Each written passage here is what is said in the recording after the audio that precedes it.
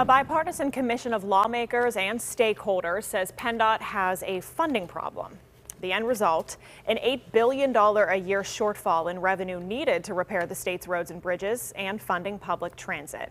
As Money editor Jon Delano reports, the proposed solutions are likely to be painful. Because Pennsylvania has more state maintained roads than New York, New Jersey, and New England combined, and plenty of old bridges across our rivers, and a number of major public transit systems, the state's reliance on the gasoline tax to fund these needs is outdated, says the Transportation Revenue Options Commission, or TROC. The revenues from gas haven't gone up. In fact, they've gone down. While states like New York rely on the gas tax for less than 20% of their transportation dollars, it's 78% in Pennsylvania. Melissa Batula, PennDOT's number two official, says the gasoline tax is no longer a smart way to fund repairs, especially with the growth of electric vehicles. You're seeing fuel efficiency goes up, which means the amount of gas people are buying goes down, which means the revenue that we've been getting from that the gas tax go down.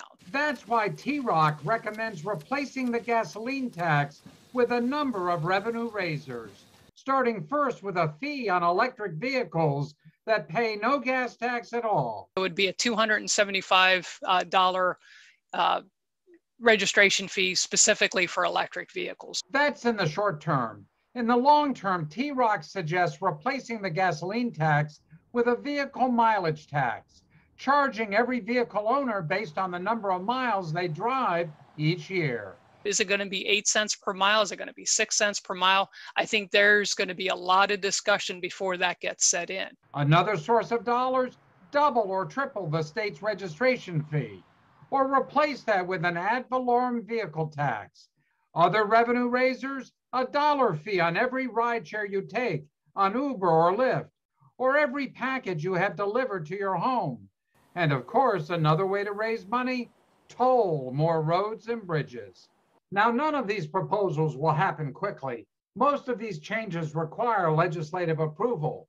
Late Friday, the House Republican Majority Leader threw cold water on the recommendations, calling them, quote, ill timed and short sighted.